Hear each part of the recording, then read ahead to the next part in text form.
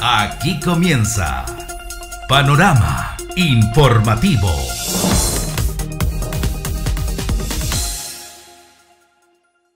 ¿Qué tal? ¿Cómo están? Bienvenidos y bienvenidas una vez más a Panorama Informativo. Comenzamos con las noticias. Aguas del Valle inaugura moderna planta de tratamiento de aguas servidas para Vicuña. La sanitaria invirtió 9.5 millones de dólares en las instalaciones que van a beneficiar a la ciudad del Quine y también a los APR de San Isidro y Calingasta. Más detalles a continuación. Aguas del Valle celebró, con la presencia de la ministra de Obras Públicas, Jessica López, la inauguración de la nueva planta de tratamiento de aguas servidas en Vicuña. El proyecto modernizó la planta existente y requirió la inversión de 9,5 millones de dólares.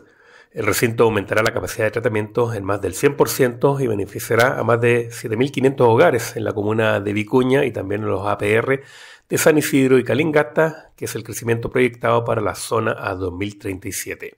La ministra de Obras Públicas, Jessica López, quien encabezó la inauguración, destacó los avances que ha permitido la asociación público-privada en materia de saneamiento. Bueno, estar aquí en la inauguración formal eh, de la nueva planta de tratamiento de aguas servidas de Vicuña, nueva tecnología, eh, un proceso acelerado de tratamiento eh, que va a permitir entonces eliminar algunos inconvenientes que existían en la operación anterior relativa a los olores. ¿ah?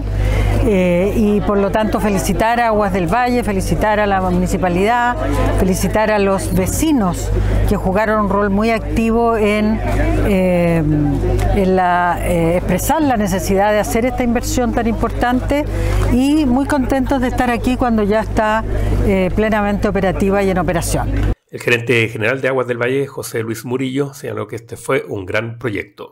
Principalmente agradecer, agradecer a la comuna, agradecer a las autoridades, agradecer la paciencia que han tenido porque éramos conscientes de que la planta de lagunas facultativas que teníamos anteriormente no era todo lo eficiente que era necesario y hemos desarrollado una planta de primerísima tecnología de manera que Vicuña no va a sufrir nunca más los olores por el tratamiento de aguas servidas y va a tener la capacidad para soportar cuántos visitantes eh, puedan venir. En tanto, el alcalde de Vicuña, Rafael Vera, valoró el avance. Por lo menos los últimos 30 años, una de las inversiones más importantes, y no tiene que ver solamente con el monto, sino con lo significativo que es para la comuna que toda su ciudad funcionen todos sus vecinos con dignidad. Esa dignidad que por momentos sentíamos que era pasada a llevar, hoy día sentimos que efectivamente el esfuerzo que ha hecho Aguas del Valle, el compromiso que estableció, que los plazos no se fueron cumpliendo dentro de los plazos que nos hubiesen gustado, pero evidentemente se cumplió y hoy día estamos agradecidos a esta empresa y al Estado de Chile por tomar en consideración las necesidades de nuestros vecinos. Quiero un párrafo aparte para nuestros vecinos. Ellos estuvieron en dos momentos muy especiales, en el momento de la crítica, de la disolución, de la protesta y también de la comprensión, del diálogo, de la escucha. Y en estos dos procesos que tuvimos que vivir, primero al salir a protestar y segundo, efectivamente, a comprender los plazos que nos estaban indicando y los procesos que habían que vivir. Sin nuestros vecinos, tal vez esta planta no se estuviera inaugurando hoy día. Para el delegado presidencial Galo Luna, lo fundamental es seguir profundizando este trabajo mancomunado entre la alianza público-privada. Sí, agradecer el esfuerzo que ha hecho Aguas del Valle eh, por tener esta planta de primer nivel en la región, eh, una también de la más avanzada del país. Eh, nosotros hemos tenido una estrecha relación producto de la crisis climática que enfrentamos, la prolongada sequía.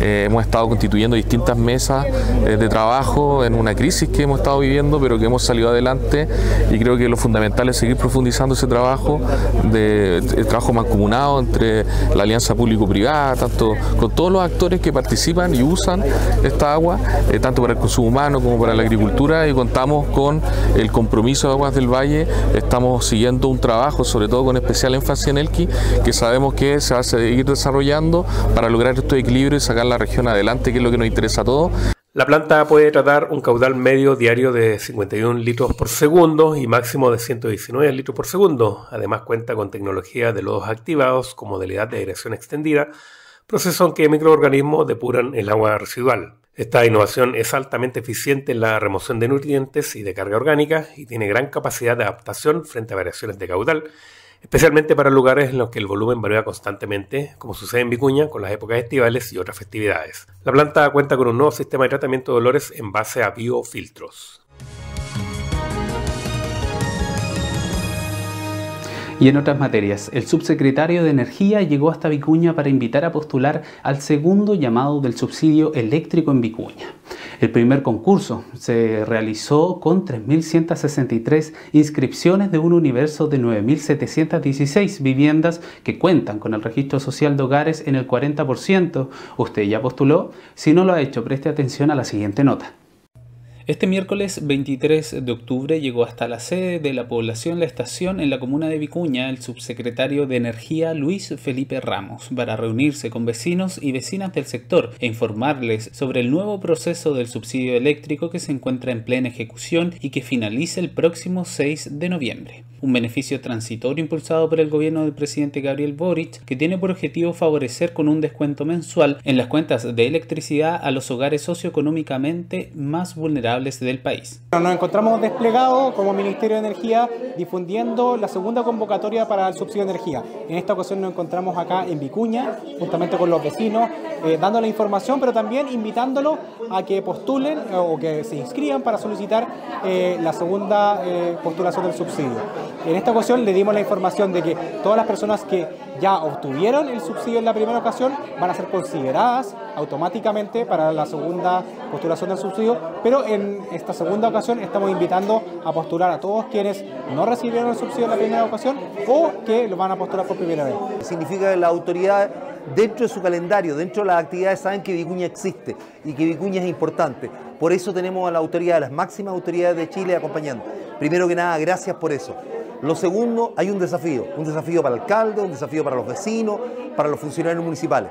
Tenemos alrededor de 9.000 familias que pueden acceder al beneficio eh, eléctrico para que sus cuentas no sean tan abultadas. Todos entendemos que hoy día, producto de una ley, hay un aumento de las tarifas, pero alrededor de 9.000 familias pueden recibir este beneficio. 3.000 ya lo han hecho, han hecho el trámite, faltan 6.000.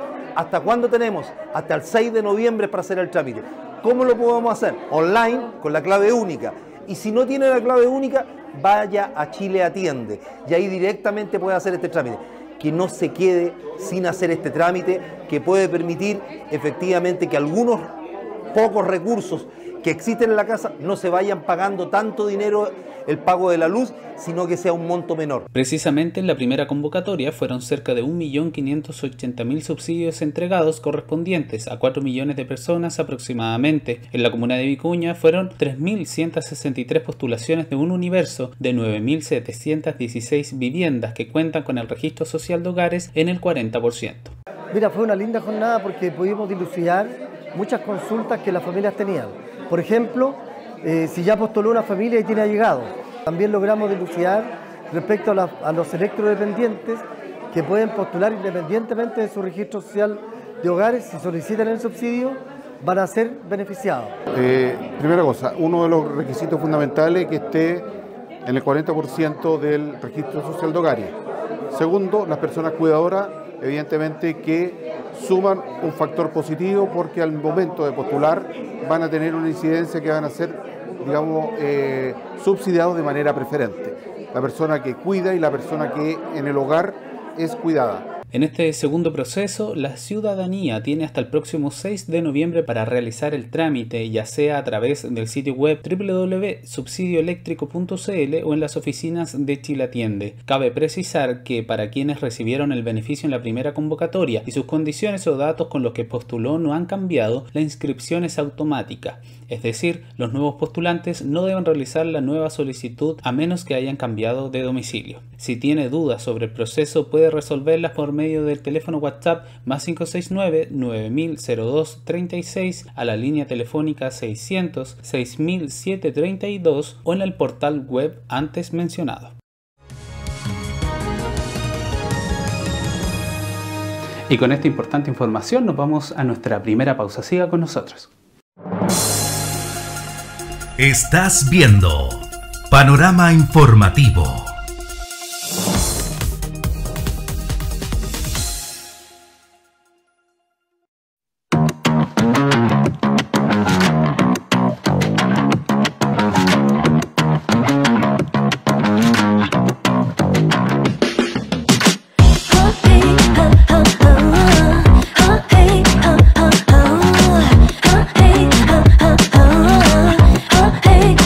Vecinos y vecinas, no nos olvidemos que este 26 y 27 de octubre tenemos que votar por gobernadores, consejeros regionales y alcaldes. Y alcaldesas. Sí. Toda la razón. Y concejales. Siempre decimos que es importante votar. Pero la verdad es, ¿por qué votamos? Yo voto porque nuestra opinión importa caleta. Yo voto por la naturaleza y su conservación. Yo voto porque la seguridad es importante. Yo voto por mi región. Yo voto porque para mí es importante el deporte. Yo voto por el futuro. Ya no puedo ir a votar, pero igual voy a acompañar a mi abuelita. Ella dice que cuando votamos hay más democracia. Democracia, mi amor. Democracia. Porque la opinión de todos los chilenos importa. Voto a voto, construimos comunidad. Recuerda que este 26 y 27 de octubre son las elecciones, pero tú decides cuándo ir a votar en las elecciones regionales y municipales, porque tu voto importa. Gobierno de Chile. Chile avanza contigo.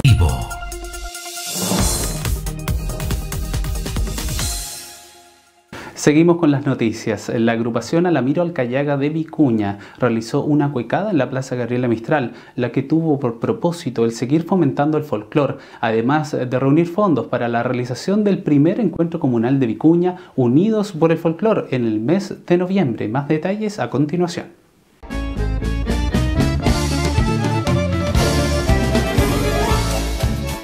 Fundada un 6 de junio de 1987, la agrupación folclórica Lamiro Alcayaga es una de las más antiguas del Valle de Elqui, la que ha luchado incansablemente en el rescate y puesta en valor de los cantos y danzas de las diversas zonas de nuestro país, entre ellos la cueca. En este contexto y con el propósito de seguir fomentando el folclore en las diversas generaciones y espacios públicos, además de reunir fondos para la realización del primer encuentro comunal de Vicuña Unidos por el Folclor, organizaron una gran cuecada en la Plaza Gabriela Mistral de Vicuña el pasado domingo 20 de octubre. Tiene varias razones. La primera es seguir fomentando el folclore como lo ha hecho el Club de Cueca y Folclore Ramiro Callaga durante 37 años. Eh, con actividades que no necesariamente están enmarcadas en las fiestas patrias, sino que también en otras ocasiones del año, como es ahora en octubre. Y la principal razón también es recaudar fondos para eh, la organización eh, de un evento que vamos a llevar a cabo el día 2 de noviembre, acá en la Plaza de Armas, de, en la Plaza Gabriela Mistral, que tiene que ver con un encuentro comunal de agrupaciones folclóricas. ¿ya? En, esta, en esa ocasión vamos a agrupar a agrupaciones tanto del sector cordillera como del sector costa, eh, la idea es darles, generar un espacio para que ellos también se puedan mostrar eh, y podamos también compartir entre folcloristas acá que estamos en la comuna de Vicuña. Evento que congregó un número importante de participantes, algunos bailando y otros como espectadores de la jornada. Tal es el caso de Osvaldo Perry, vecino que llegó junto a su esposa hasta la Plaza Gabriela Mistral. Necesario que se divulgue el, folclore en todas partes. Eh, ¿Qué le pareció la convocatoria, ver a los niños, los más adultos? Sí, también, me incluyo. En todas las actividades que puedan haber hay que participar. En la oportunidad estuvieron presentes el alcalde de Vicuña, Rafael Vera Castillo, y los concejales Cristian Pinto Torres y Carol Alcayaga Callejas. La concejala Carol Alcayaga, presidenta de la Comisión de Cultura, destacó la importancia de la cueca y que se generen estos espacios durante todo el año, lo que también fue valorado por la primera autoridad comunal, el alcalde Rafael Vera. La verdad es que es muy importante y primordial, ¿cierto?, que no solamente en el mes de septiembre, que es el mes de nuestra patria, bailemos la cueca y que se hagan estos tipos de eh, actividades en torno al folclore de nuestro país, sino que es importante de que esto permanezca y dure en el tiempo y la importancia y relevancia que tiene justamente ahora que vamos a vivir el encuentro comunal de folclore en nuestra, en nuestra comuna de Vicuña. Así que agradecer a la agrupación Alamiro Alcayaga de seguir fomentando y potenciando estas actividades acá en nuestra comuna. Nos sentimos orgullosos de agrupaciones de este renombre, de esta capacidad y con la generosidad y la voluntad de que niños y grandes puedan practicar este, este, eh, esta cueca tan maravillosa producto de nuestro folclore. Sin lugar a dudas, hoy día la plaza se ha llenado de espacio folclórico. El próximo evento Unidos por el Folclor se desarrollará entre el 2 y el 3 de noviembre en Plaza Gabriela Mistral, el que contará con danza y música en vivo y que reunirá a todas las agrupaciones folclóricas de la comuna de Vicuña y sus alrededores.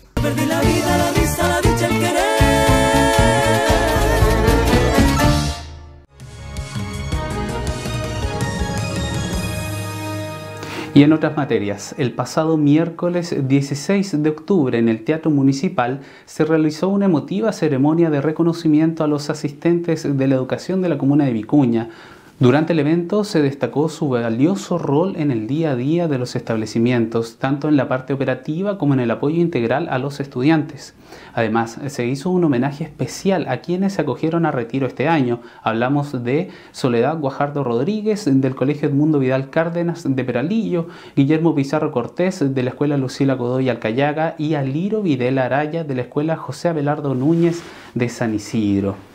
Esta ceremonia no solo reconoció sus logros, sino que también reafirma el compromiso de la comunidad de valorar y distinguir el trabajo esencial que estos profesionales realizan para garantizar un entorno escolar positivo y enriquecedor donde cada estudiante pueda desarrollarse plenamente y alcanzar su máximo potencial. Escuchemos algunas declaraciones de la oportunidad. Ahí tuvimos muchos actores relevantes, los asistentes de la educación fueron algunos de ellos. Los asistentes de la educación les dieron contención a nuestros niños cuando lo necesitaban, le dieron apoyo efectivamente a nuestros profesores cuando también necesitaban el respaldo necesario. Los asistentes de la educación hoy día están conformados con personas que hacen el aseo, con asistentes eh, sociales, con eh, diferentes profesionales de diferentes áreas. Nuestros asistentes de la educación en su conjunto han sido relevantes para la educación que estamos viviendo. Que falta mucho hacer, mucho por hacer, por supuesto. Falta mucho por hacer sin lugar a duda. Pero que se ha avanzado muchísimo desde encontrar la educación en el piso, donde teníamos cotizaciones previsionales impagas, donde, donde los sueldos no se pagaban en la fecha que correspondía, donde tenían DICON nuestros profesores y asistentes de la educación. Bueno, ese fue el piso donde encontramos la educación. Por eso hoy día estamos tan felices y por eso le agradezco públicamente a Gabriel Pastén, porque efectivamente desde que se hace responsable del año 2015, cuando habíamos superado los problemas económicos, hubo un hombre que se encargó del tema de la educación y ese fue el Gabriel Pastén con todo su equipo.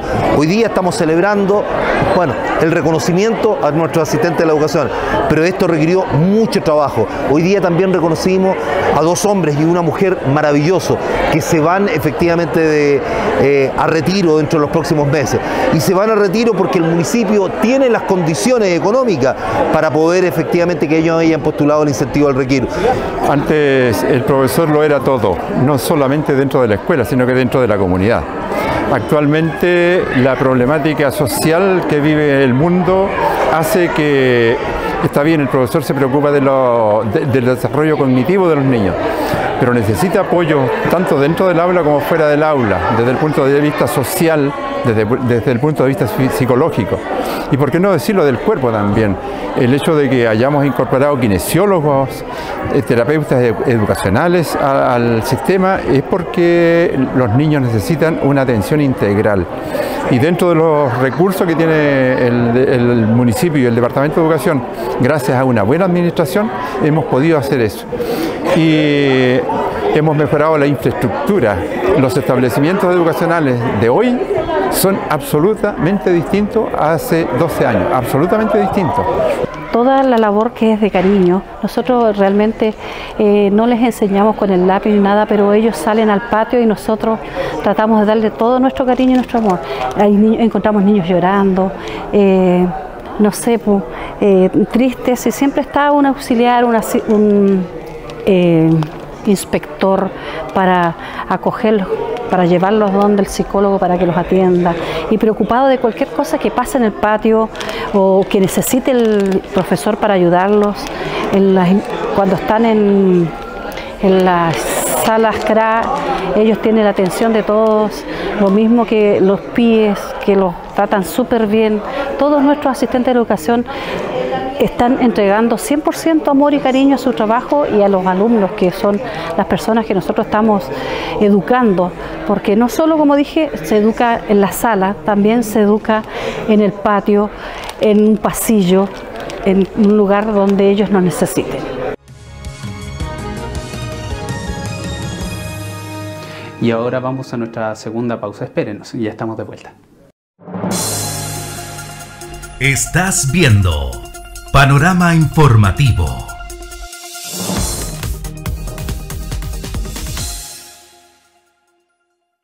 Vecinos y vecinas, no nos olvidemos que este 26 y 27 de octubre tenemos que votar por gobernadores, consejeros regionales y alcaldes. Y alcaldesas.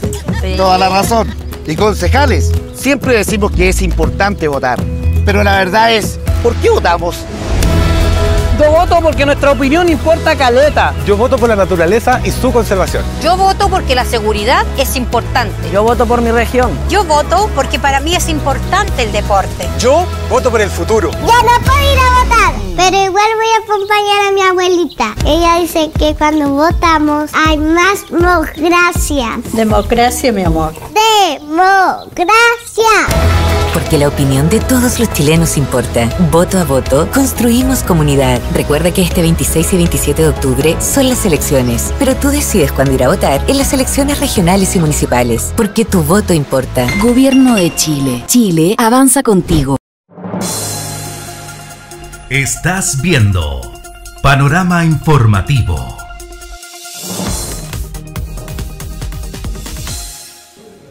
Ya estamos de regreso para contarles temáticas regionales. En poco más de un mes llevan instaladas las maquinarias y trabajadores en las labores de excavación en el sitio en donde se va a construir el nuevo Hospital de La Serena, proyecto que con la colocación oficial de la primera piedra brinda certeza a la comunidad en cuanto a la ejecución de uno de los proyectos más esperados de la salud regional. De acuerdo a la planificación, la construcción va a demorar al menos cuatro años para luego ser traspasado al Ministerio de Salud para su implementación.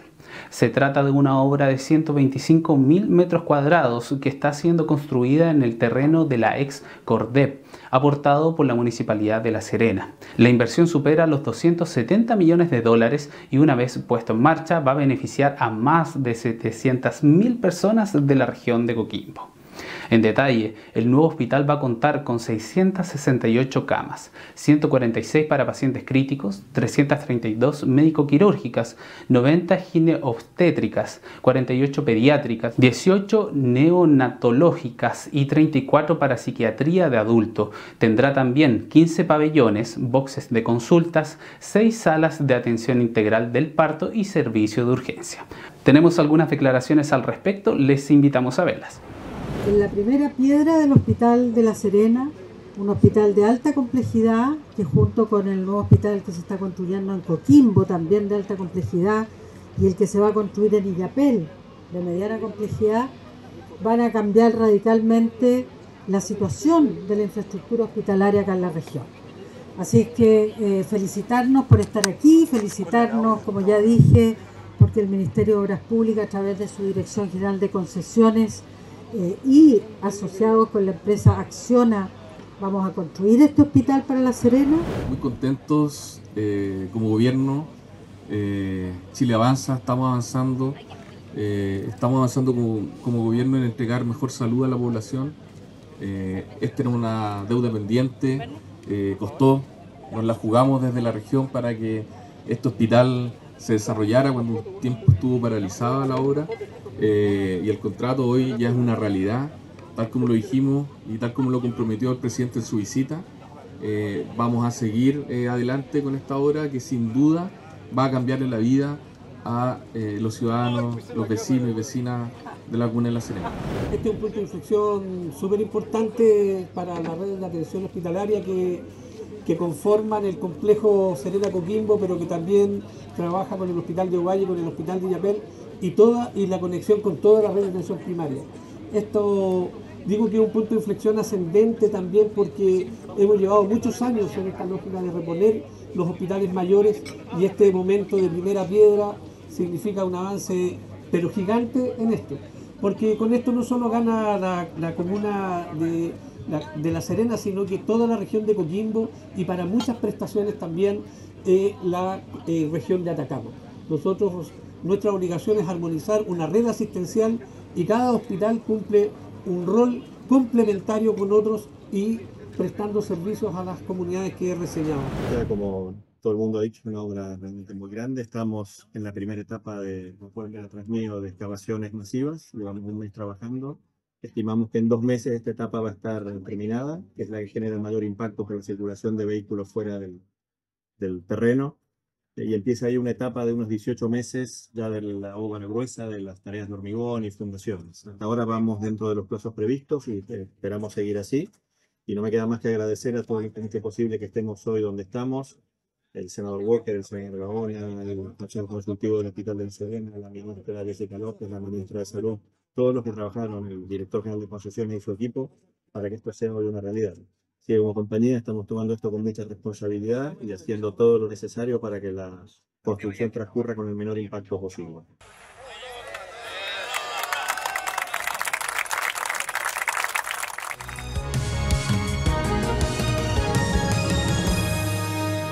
Y luego de 12 años, las elecciones municipales y de gobernadores volverán a ser con voto obligatorio en todo el país, lo que avecina una alta participación de asistentes a las urnas este próximo sábado 26 y domingo 27 de octubre.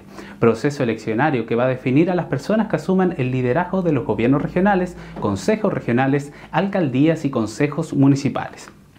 Vamos a Vicuña. Quienes deban realizar su derecho sufragio en la comuna Elquina tendrán que dirigirse a su local de votación asignado por el Servicio Electoral de Chile, que en esta ocasión serán Liceo Carlos Mondaca Cortés de la mesa 1 a la 17, la Escuela Lucila Godoy Alcayaga de la 18 a la 40 y el Colegio Antonio Varas de la 41 a la 63. Recintos que van a estar disponibles en ambas jornadas desde las 8 hasta las 18 horas. Ahora escuche bien, por enfermedad, encontrarse fuera del país o en un lugar situado más de 200 kilómetros de su domicilio electoral el día de las elecciones u otro tipo de impedimento grave que pueda ser comprobado ante el juez serán las únicas excusas válidas para arrestarse de las próximas votaciones. En caso de estar a más de 200 kilómetros, deberá dejar constancia en la unidad de carabineros más cercana. El trámite debe realizarse a través de la comisaría virtual, sitio en línea, que le generará un código, el que deberá presentar en la dependencia policial. Se requiere tener habilitada la clave única para realizar este procedimiento, similar a cuando se solicitaban permisos de salvoconducto en tiempos de pandemia. Junto con ser obligatoria la participación, otra de las modificaciones en estas elecciones regionales y municipales es la eliminación de la conocida ley seca, por lo que se va a permitir la venta de alcohol en locales establecidos. También se volverá a utilizar el lápiz pasta azul para marcar los votos, dejando atrás el tradicional lápiz grafito. Más información, por supuesto, en www.cervel.com nosotros les dejamos la siguiente declaración que también entrega detalles. Bueno, eh, conforme es cierto lo dispuesto en la ley chilena la vigente, es responsabilidad de los municipios poder abastecer los locales de votación para poder desarrollar el proceso de elecciones de la mejor manera posible, para hacerlo de, forma expedita, eh, tranquila, cierto, y segura para cada uno de los votantes de la comuna de Vicuña. En ese sentido, eh, tanto el Colegio Antonio Varas como el Liceo Carlos Roberto Mondaca y la Escuela Lucila Godía Alcayaga serán los tres locales que albergarán nuestro, nuestro proceso de elecciones de los días 26 y 27 de octubre, eh, con toda la disposición para poder desarrollar el proceso de la mejor manera en coordinación con los diferentes establecimientos, cierto la gente del ejército, los delegados de cada recinto. Y tenemos todo ya dispuesto para que este fin de semana la gente pueda acercarse a votar de la mejor manera y no olvidar que puede venir a votar tanto el día sábado como el día domingo. Es la elección uno de ambos días, así que hacer ese llamado a la comunidad que participe en este proceso, como, como sabemos es obligatorio el voto, sin embargo es importante llamar también a la, participación cívica en este tipo de actividades que son republicanas. Así que invitamos a la comunidad a participar de este gran evento cívico.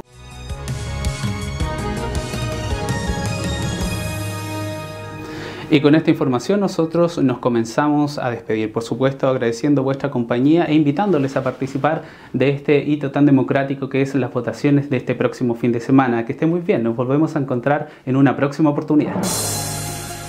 Esto fue Panorama Informativo.